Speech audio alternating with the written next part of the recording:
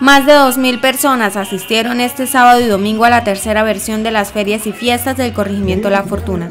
Este evento ya está institucionalizado en Barranca Bermeja. Desde el comité organizador se entregó detalles.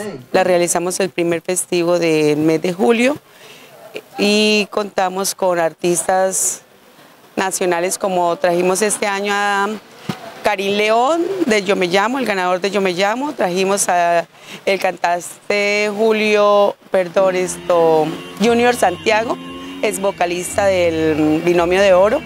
Y pues nuestro evento siento que ha sido como unas puertas abiertas para los comerciantes de nuestro sector y para nuestra comunidad en general. Con las ferias y fiestas del corregimiento La Fortuna se busca promover el turismo y la dinamización de la economía en este sector rural.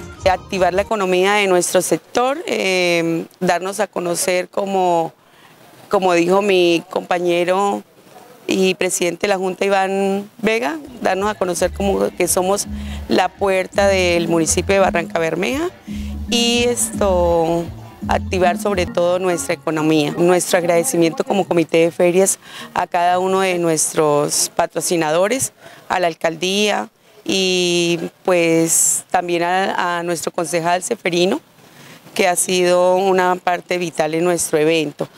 Asimismo, dentro de las ferias y fiestas se realizó el Reinado Popular, donde participaron seis candidatas, quedando como reina la señorita María Alejandra Pinilla, representante de los acacios del municipio de San Vicente de Chucurí. La verdad, nerviosa, porque uno al ver esa cantidad de gente eh, es impresionante, uno siente los nervios, uno dice, ay, de pronto me voy a equivocar, voy a hacer algo mal, pero no, hay que entrar seguras y con todas pues bueno, agradecerle a todo el público en general por su apoyo, por siempre creer en mí. A los que no, también muchísimas gracias porque gracias a ellos hoy me llevo esta corona. Desde el comité organizador se invita a la comunidad en general y a quienes deseen estar en el reinado participar en las próximas ferias y fiestas del siguiente año en el corregimiento La Fortuna.